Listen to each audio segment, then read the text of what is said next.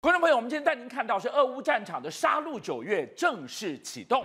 你现在看到的画面呢，是俄罗斯发动开战三年以来最大规模的飞弹攻击，俄军集中火力攻击一所乌克兰军校，至少已经造成了五十一个人死亡，两百七十多个人轻重伤。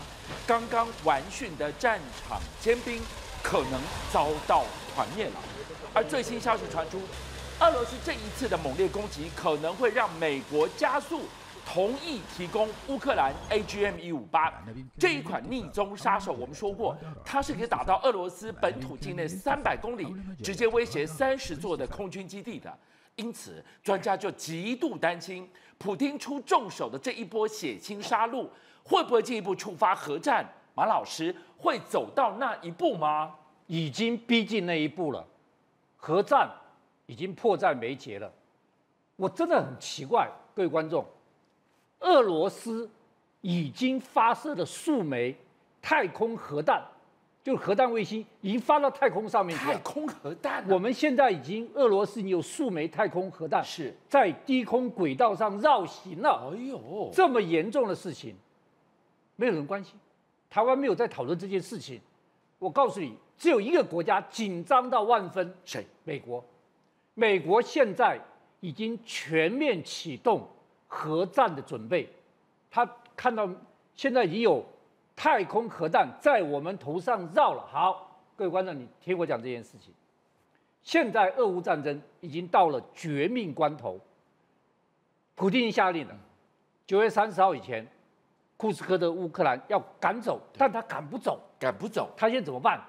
他就狂轰猛猛炸乌克兰本土。我打得你非撤不可，我看我每天去搞你。好，这昨天各位看，俄罗斯空袭乌基辅旁边的一个城市，是你晓得吗？目前已知死了超过五十人，伤亡受伤超过两百五十人，太惨烈了。好，各导播来看这张照片，我给大家看，这个是乌军。他们在训练所前面是欢乐，还哇举手欢乐的照片看到没有？是。现在这一群人有几个人还活的？因为在昨天的轰炸中，各位看他们训练所变这个样子。啊。训练所变这个样子，是。看到没有？本这些学员全部是训练所里面的学员，还欢乐的围绕。好，普京用这么凶狠残暴的手段去。打乌克兰的平民，包括医院、学校都没放过，就是要逼乌克兰，你给我从库斯科撤军，我就不这样做了，惹起了世界西方国家的非常生气跟愤怒，因此，美国正式宣布，我要提供你 JASSM 的飞弹，我决定提供你了。好，各位观众，我讲个最简单，什么叫 JASSM？除了核弹之外，它是世界上传统炸弹里面最厉害的。传统炸弹最厉害的，它会松绑让乌克兰去打吗？好，现在问题在哪里？我送你，但是一定有限制你，你不能够用这个飞弹去打俄罗斯本土，因为俄罗斯已经正式发出声明了。对，如果你给他的飞弹有一枚攻击到俄罗斯，后果非常。非常非常严重，你讲了三个非常哎，好，我等下再给你讲。那这个飞弹，它主要是空射、空打地的。对，那空射，空射现在乌乌克兰拿的飞弹有一个问题，是它的飞机要怎么 link 这个飞弹？是它都是二系的。对对，它都是米格啊、苏凯啊。对，你这个系统要全面更改，你才能 link 这个飞弹才能发射。这是第一个问题。这是第第一个问题。第二就是美国不让你打。但是你以为乌克兰都会听话吗？他会不会悄悄打？他这个一悄悄打的话，那就麻烦。他可以攻击俄罗斯所有的目标，包括一个最重要目标——克林姆林宫。所以这一枚是打得到红场的。现在为什么我刚刚讲恐怖、恐怖、恐怖？世界核弹迫在眉睫，两个迹象。各位看这个，这个真的是太恐怖了。这个是路透社。独家取得的卫星画面，这里老师帮我们画了五个红圈圈，什么意思？好，居然这是海燕飞曲翼飞弹的基地。海燕，啊海燕要服役了。我告诉你，各位观众，我一定要跟你讲，海燕有多严重。这是海燕的发发射平台，是九个发射平台，嗯哼，每三个一组，三个一组。都用很厚很厚的为主体把它围起来，是一方面让你不能攻击它，对；一方面它万一自爆，海燕会自爆的，对，一自爆毁三枚，嗯哼，那另外六枚还活着，对。那红圈圈是什么？这是核弹头储存场。哦天！我核海燕在这里，核弹头储存场在这里。好，各位，你知道海燕是全世界天下最无敌的巡弋飞弹，它哪里无敌了？因为它用核。它是核动力，是。它的，它不是燃料，对，它就是个小型核电厂，是它的发，是它的引擎，飞行的核电厂，它就是它的引擎就是核电厂，哎，是。它用核能发电的，飞弹一打出去，它飞不累的，它飞不累，它核能在是它的燃料，是。它飞不累，对，第一个飞不累，第二它爱怎么飞就怎么飞，没有什么低空高空，它可以全部全低空飞，第三个它可以慢慢绕世界。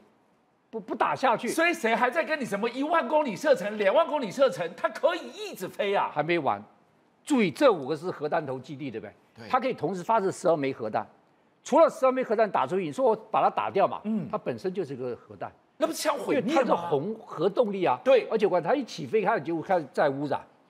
因为它不像我们一样，那个核电厂还有层层保护啊。是。它核动力是它的燃料，对。它就开始一路出去就一路污染。它本身就是没核弹，你把它打下来，它整个都是核弹爆炸。好。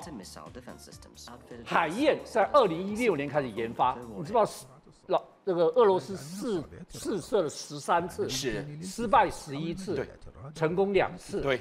失败十一次，一次是一起飞就爆炸，把五个核心的科学家全部炸死了。是，一次掉到白海里面，掉白海里面以后，一年后发觉，那个引擎还在放辐射，真的是可怕，可怕。所以现在居然，注意这张照片，海燕居然成的一个基地就在莫斯科以北四百九十五公里的地方。是，好，各位，最严重的是这件事情，这件事情。听得天下大乱，这是美国国防部助理部长，他到众议院的军事委员会去做听证会的作证的时候，他说出什么？听证会问他说，议员、众议员问他说，究竟会不会发生核核战？他居然惊天动地讲一个消息，他说俄罗斯已经发射太空核弹数枚。到太空中去了。太空核弹就是第一次被证实，被证实。他说，美国已经正式向俄罗斯送出正式的谴责。是。各位知道太空核弹怎么样？它在上面一爆炸，哈，所有的低轨道卫星对全部都瞎掉，都瞎掉，因为它会有电磁脉冲哦。是。棒一冲，对不起，低轨道完全全部炸。老那个俄罗斯现在最恨的就是马马斯克的星链，星链就是低轨道的，因为乌克兰战争对就是靠。马斯克的心念在上面看得清清楚楚，所以他上了几枚上去。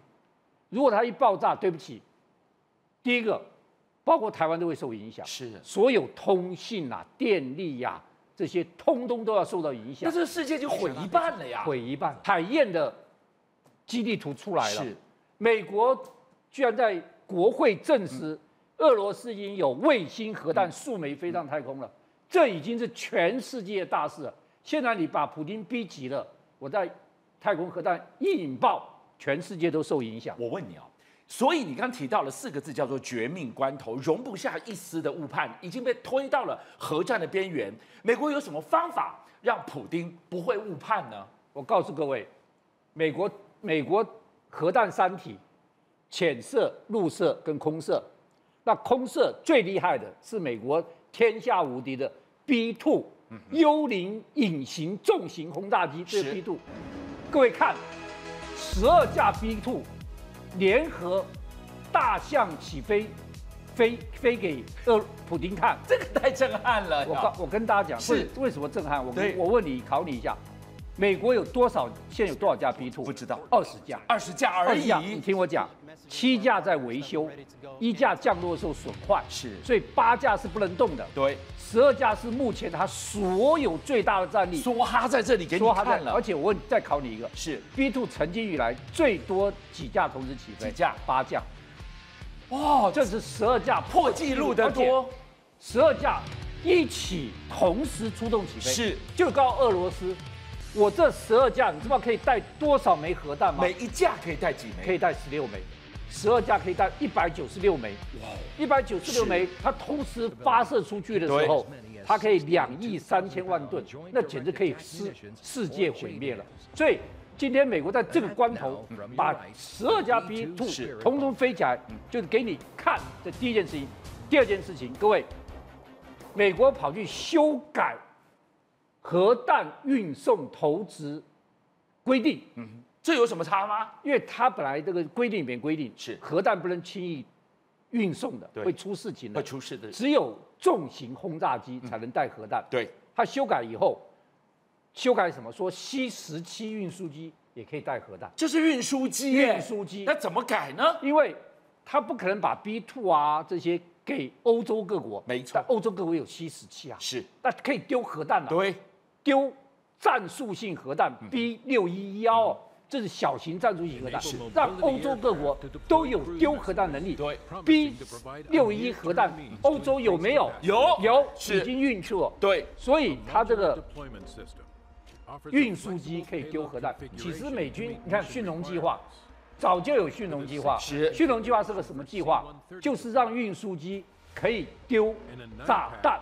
好，好，各位看驯龙计划。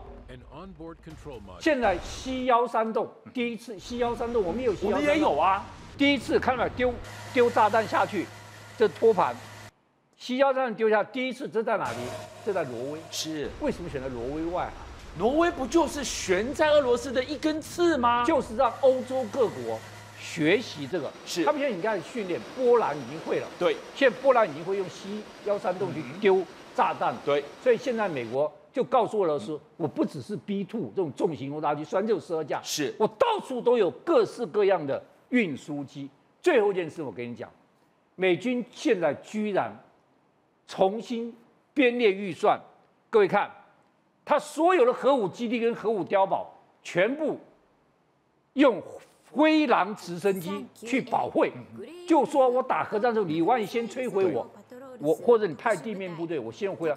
所以美国现在已经做了完万全的准备，全世界各国还在懵懵懵懵中。我们头顶上已经有太空核弹在盘旋了，你觉得它什么时候会爆炸？美股被血洗，台股今天也跌千点，到底在跌什么？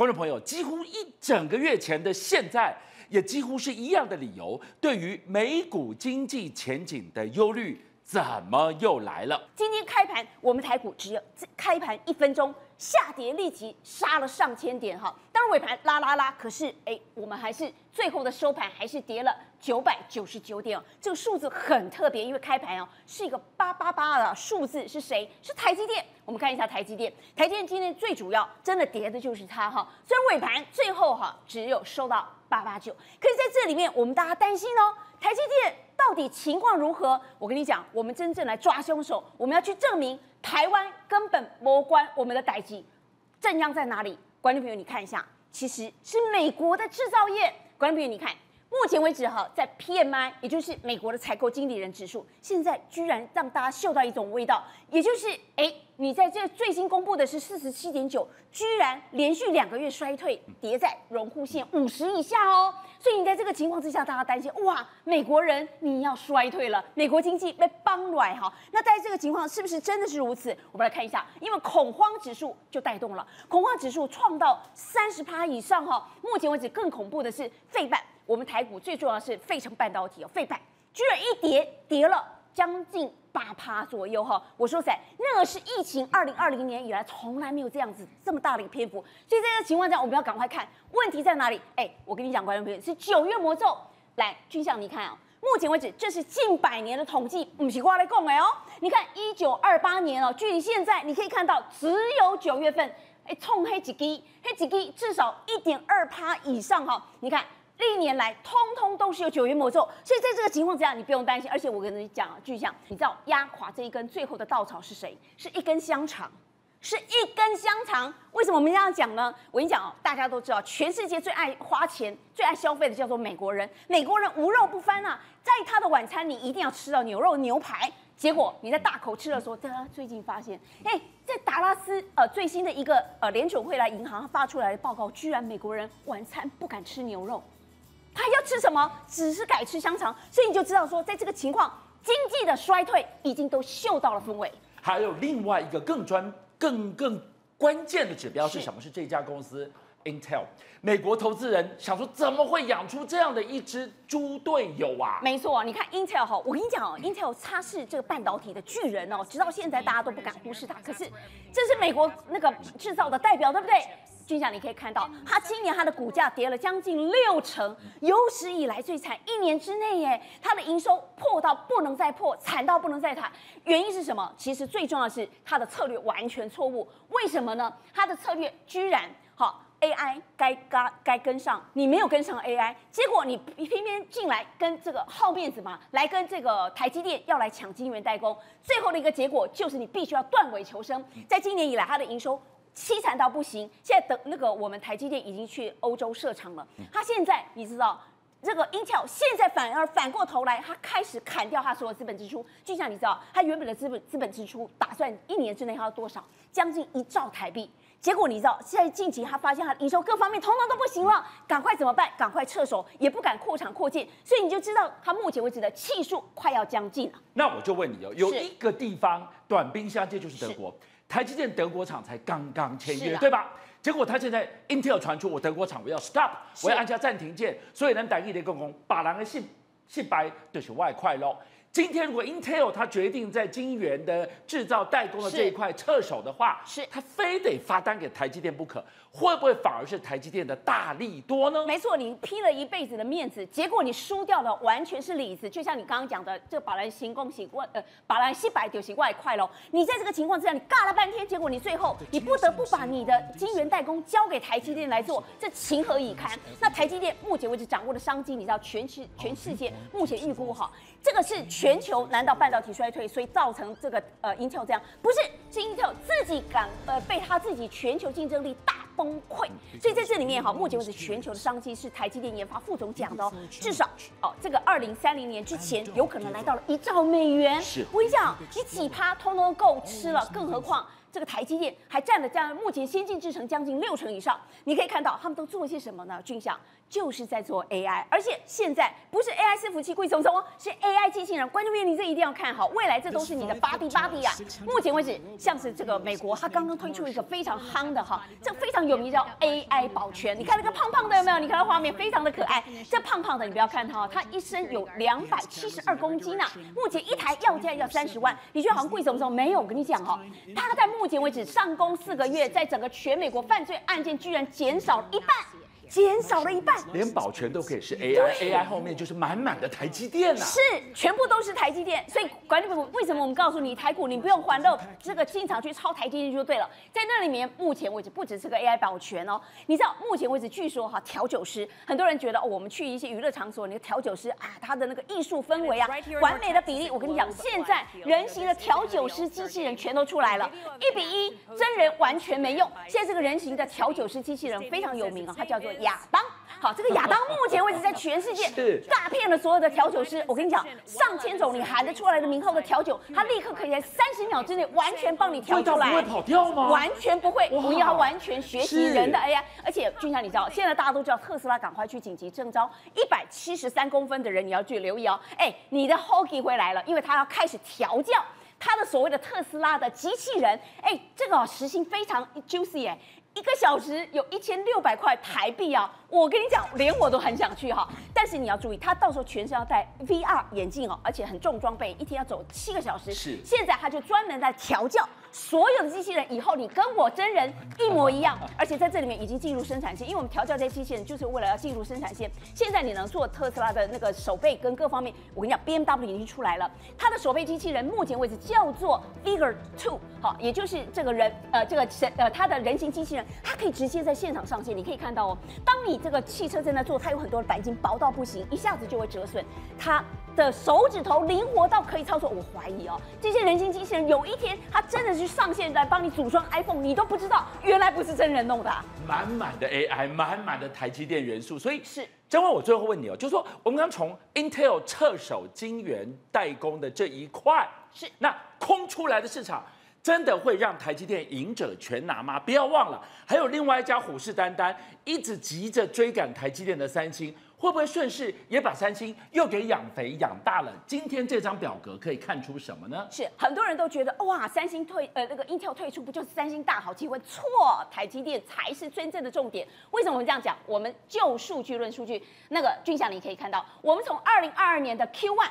一直到现在哈，我们的台积电全球的市占，这是全球市占哦。好，一直到现在，我们是二零二四年的 Q two，你可以看到，观众朋友，我们从五十三点六 percent 全球的市占率，直到现在，我们是老早里趴二十六六十二点三。我跟你讲，全世界几乎都是台湾在台积电在独揽。可是我们来看三星，三星你何在你跌都微嘞？哦，从那时候大概只有十六趴多，一路降到现在只有十一趴，而且它现在哈，这个居然这个呃癞蛤蟆想吃天鹅肉，我怎么说？它不仅要拼你的先进制程，它要拼你的先进封装，它已经开始对外量化了。二零三零年它要拼过台积电。我跟你讲，大家要看，你可以看看现在全球的封装 c o v a s 现在正在展览半导体展，目前为止台积电有四十六点二 percent，三星寡贼四十三点四点三 percent。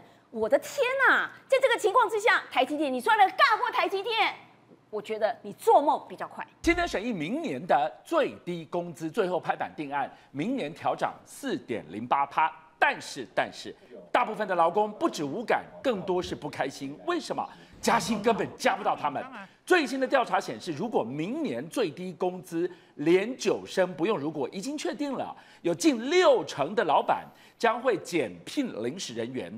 多出来工作怎么办？通通灌给正职。那本来就低薪的正职员工，不是更血汗了吗？还没完呢，加薪好康他们没份，通膨螺旋一个都躲不掉。有四十五趴的企业已经说了，因应基本工资连九涨，明年他们要调高商品售价，也不用等明年，从现在开始，盐巴就三十二年来首度调涨，甚至到张国洲蔷薇散涨幅也都。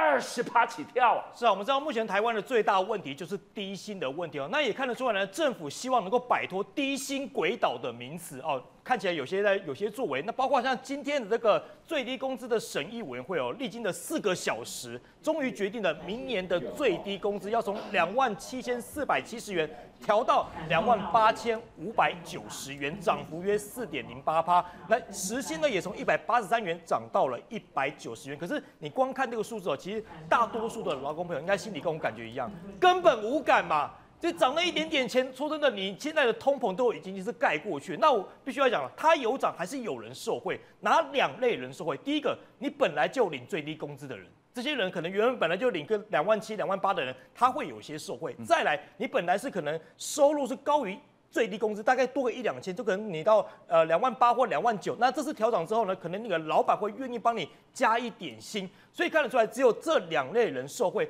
但是我们要摊开平均的数据来看啊，其实现在大学生是最辛苦，很多大学生啊，现在平均起薪只有三点三万。三点三看起来已经不错了呀。三点三万看起来不错，可是问题是你要跟十几年前比的话，你还是没有太多的进步。而且重点是有百分之二十三点九，也百分之二十四，将近四分之一的人，他只有月领二点六 K。重点在哪里？重点是三万三，你以为不错？问题是。其实是非常 M 型化的，是就寿星阶级高的很高，低的。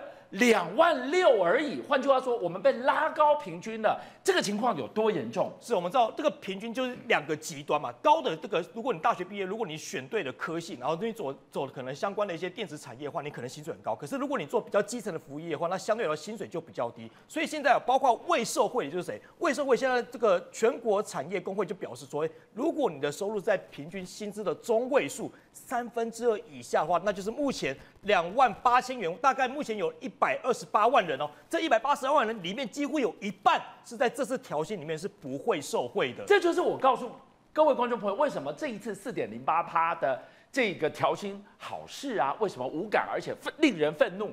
就是讲的是这一些人，是一百二十八万人，快一百三十万人，领两万八千七百七十八块，高过于这个最低工资的楼地板，加薪根本没你的事，你照样领的两万八，人家他已经加上去了，你一毛也加不到啊。是等于我换句话讲啊，如果你今天是领个三万出头的这个劳工朋友的话，今天这个楼地板调高的话，你的老板会主动帮你加薪吗？可能很少，就会变成这样的现象出来。那如果你是正好是楼地板的人，当然可能因为这次的政策受惠而提高嘛。可是很多的朋友可能是领三万出头了，那领三万出头之后，再加上这样基本工资调整的话，你的老板如果真的能够帮你加薪的话，那真的是佛心来的。所以就变成说，目前有百分之六十八点八的劳工哦，平均的这个薪资哦是不到七十万元的。年薪不到年薪不到万七十万元，只有六十九点多万，那这个比例是逐年增加，你就是可以知道说，现在其实我们台湾的薪资已经呈现非常严重的 M 型化社会。那个 M 型化，我们再给大家另外一个指标来看看，这个是一零四的统计。是哎，一零四说有三分之二的产业低于平均，哇，那真的不是普通的 M 型化，是一跨很大的 M 哎。是我们知道有六十三个产业，它的薪它的月薪是高，大概是四点七万元。可是你不要忘记哦，这个同份资料报告显示哦，将近有四十个产业，也就是三分之二的产业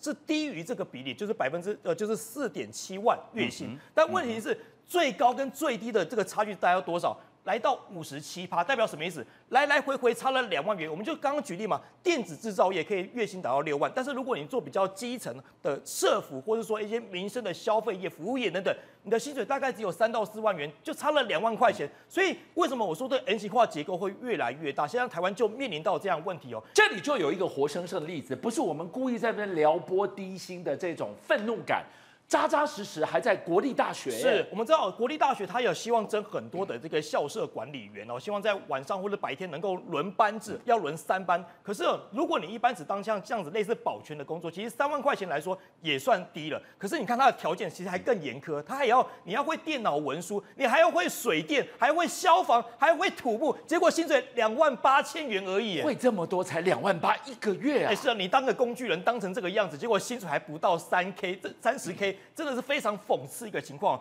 另外呢，也有网友最近在网络上表示，他说：“哎。”我刚大学毕业哈，这个薪水呢只有两万八千多块，两万九左右。可是我看看我的同学们，哎，每个都领大概四万块钱左右。其实我现在会有点避于跟他们一起出来聚会，因为聚会我会尴尬嘛，因为聚会大家都会聊什么？哎，聊你最近工作怎么样啊？你的薪水多少啊？那一聊到说我只有两万多块钱的时候，我会不会觉得好像有点尴尬？所以现在社会上会产生一个现象，叫就是说，如果我这样薪水条件比较低的话，我就不会参加这些这些聚会。我宁可说，哎，不好意思，我今天有事，我没办法参加，要避开这样的尴尬情况嘛。这是一场劳资的战争，但这不是战争，劳方永远弱势。为什么？观众朋友，我给大家看一个最新的统计，今天拍板工资连九升，已经有将近六成的老板说他们会减聘临时人员，就是刚刚说的每个小时以钟点计价的这些临时人员，既然你已经加上去了，是那么我聘用你成本增加，我就不聘你了。那事情要有人做啊，就倒给了这一些正职的员工，你领两万八你也得做，领三万你也得做，那我不是更血汗了吗？我们一定希望说能够能够增多点钱是最好嘛。可是你站在看他资方的角度，他们其实看的方方向，其实跟我们劳方是看的完全不一样。因为资方的看法是说，如果调薪的话，他们盈利就会受损，盈利受损之后呢，其实他们相对对于下面的员工的待遇来讲，或多或少也会减低。问题是。很多民众讲说，哎、我为你在工作工工作十公司工作十几年了，你有没有给我加过薪？这个才是重点嘛。所以现在就有人力银行的资料提出说，哎、在去年哦，其实有百分之七十五的上班族他的薪水是完全没有动的，即便你最低工资怎么样调整，但他们薪水没有动。已经有两成五的这个上班族已经五年没有加薪了，所以你看出来哦，即便你基本工最低工资调涨，然后哎，公司在公公司的情况之下，他们薪水是没有动，所以变成说一个恶性循环，恶性的螺旋在这里啊。所以望着我问你，这是民营企业，你当然会觉得说，那也许我们就捧个铁饭碗，大家我看透懂不？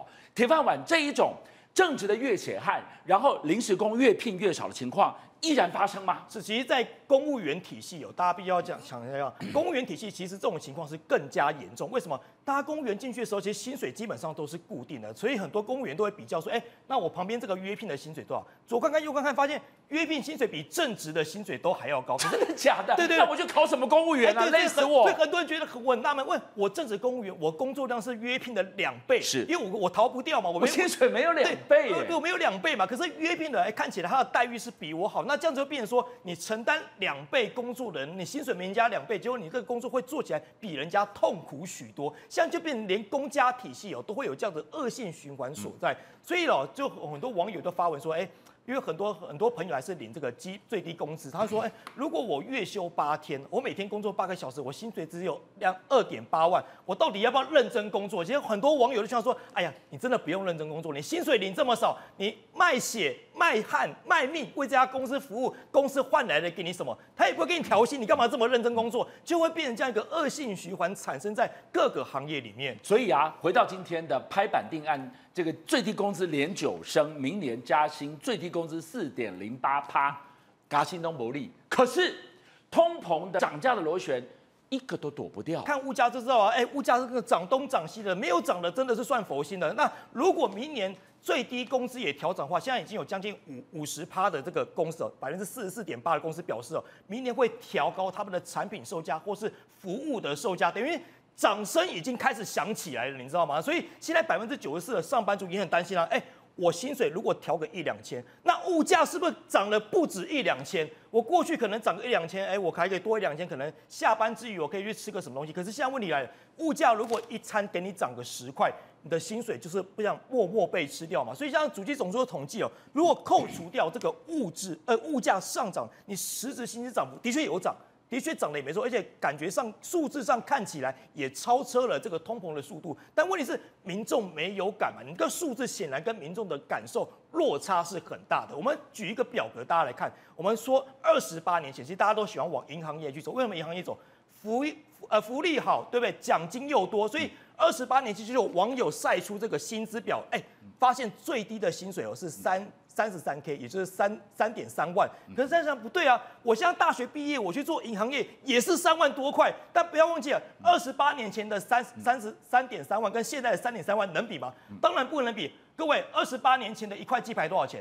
三十五块，现在一片鸡排多少钱？基本上都要破百了吧？你再加个胡椒粉，还给你加个五块钱都有可能。所以物价已经回不到三十呃二十八年前的样子，你薪水就算一样，坦白讲也是没有用。再来哦，很多人说好，那我没钱，我度个小月，我吃个卤肉饭可以吧？结果呢，我到了台北市的市区哦，想要吃个晚餐，吃个卤肉饭套餐，你看哦，它只有一个青菜，然后一个贡丸汤，然后一个卤肉饭，这样多少钱？